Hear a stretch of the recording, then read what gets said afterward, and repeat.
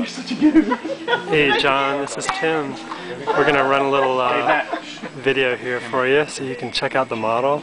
And we're all here working on it. And so, here we go. I'm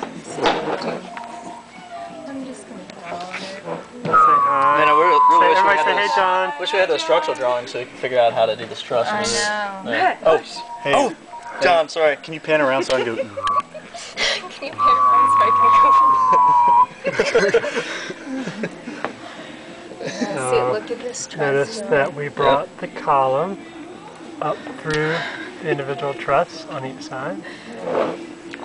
This is the uh, suspended ceiling and the elevator tower. This this is the column at, at line four, and this is at line five. And just as you remember or you described, we're going to break these trusses at the continuous columns at each corner of the stair tower.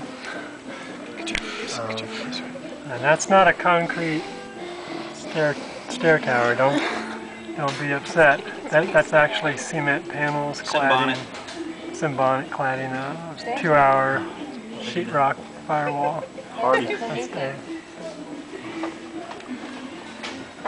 Over on this side, you can see your 8-inch W8 by 67s down to Tweezers.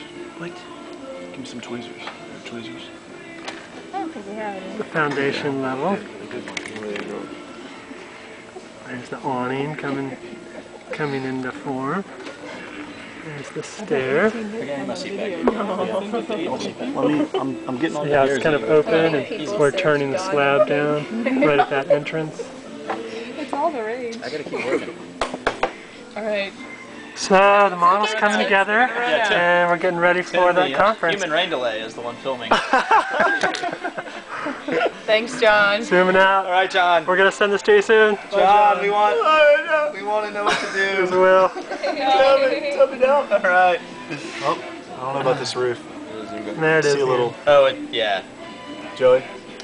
Joey. See that? You to. It's for drain.